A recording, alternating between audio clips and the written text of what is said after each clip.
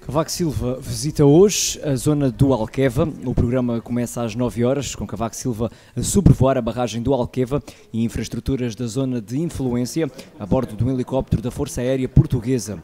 Às 10h15, o Presidente da República aterra na Base Aérea 11 de Beja para se deslocar depois às 10h55 para o canal de Ferreira do Alentejo, local onde se encontrará com Pedro, José Pedro Solema e em que o Presidente do Conselho de Administração da EDIA irá explicar a Cavaco Silva a infraestrutura e mapa da zona de influência de Alqueva.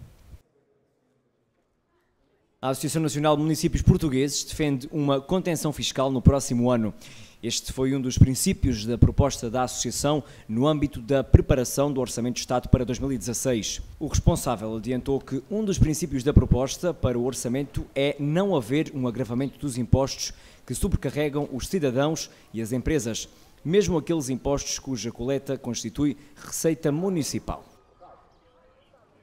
O Bloco de Esquerda vai entregar esta quarta-feira, às 15 horas, no Tribunal de Beja, a sua lista de candidatos pelo Distrito nas eleições legislativas de 4 de outubro.